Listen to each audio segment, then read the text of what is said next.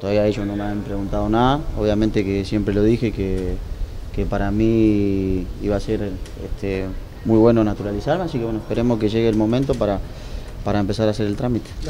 Ah, nosotros estamos pensando en, en el partido del viernes, este, pensamos en que el, el técnico para nosotros todavía sigue siendo el profe Carlos Reynoso y estamos preparando el partido para ganar el, el viernes.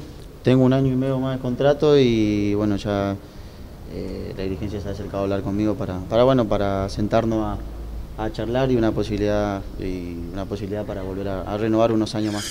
Ah, bueno, creo que es algo que ya depende de, de los directivos.